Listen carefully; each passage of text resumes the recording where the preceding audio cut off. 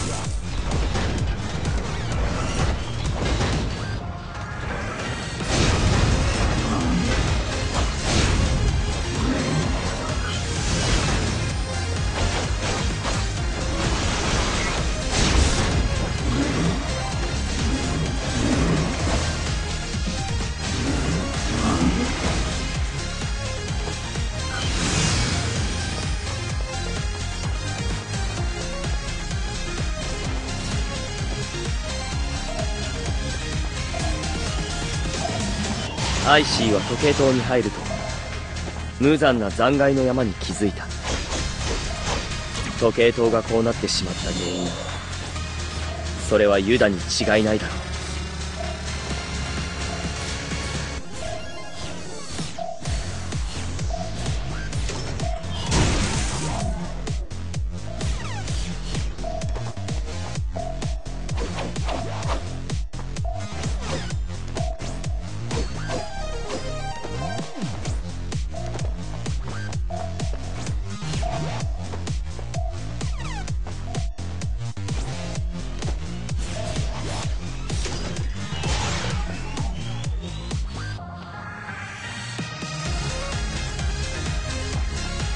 アイシーはレストランに入った。テーブルの上に食事の残骸が放置されているがそれ以外には何もない。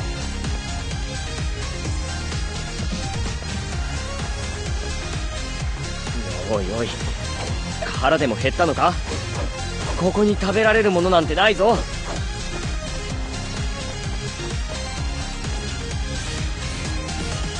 まったく私までお腹が空いてきた腹ごしらえをするから君は勝手に探索しててくれ。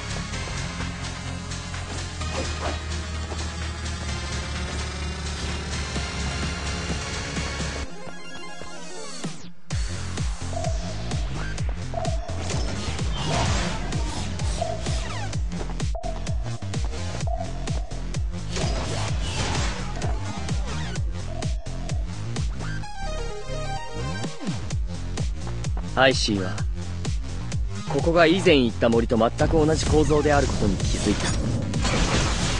それなら心配はいらない。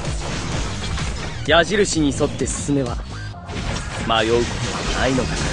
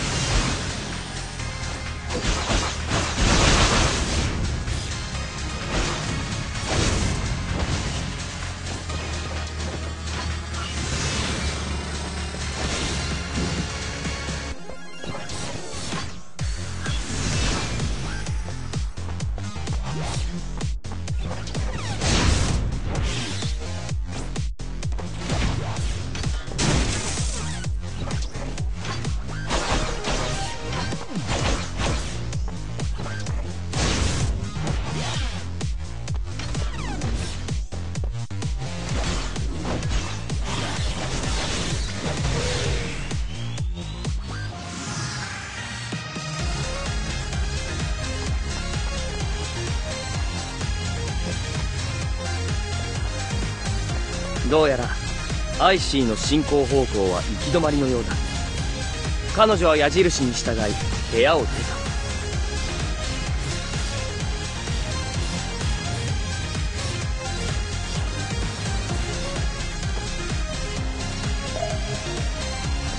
また見慣れた場所にたどり着いた ICEYは障害物を避けて出口へ向かった。